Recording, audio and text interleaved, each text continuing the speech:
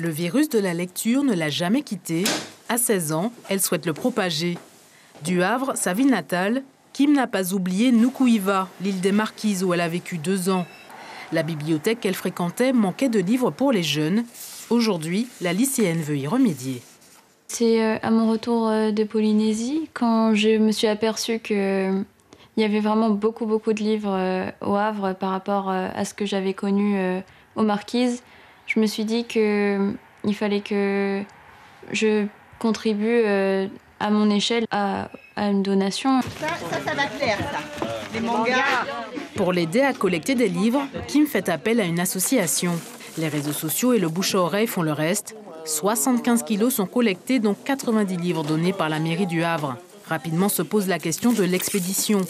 Le transport par bateau coûte 700 euros, une somme rassemblée grâce à une campagne de financement participatif.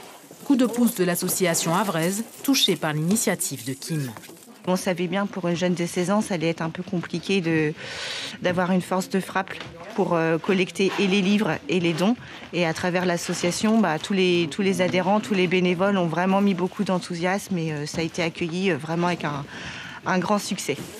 À quelques heures de l'expédition, la mobilisation des bénévoles enchante la lycéenne. J'y croyais pas vraiment quand je, quand je me suis lancée et tout le monde est accru.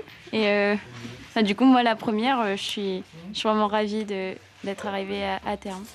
Des bénévoles pressés de voir les livres arriver d'ici 2 à 4 mois à Nukuiva. 40 kilos supplémentaires sont en attente pour une seconde expédition.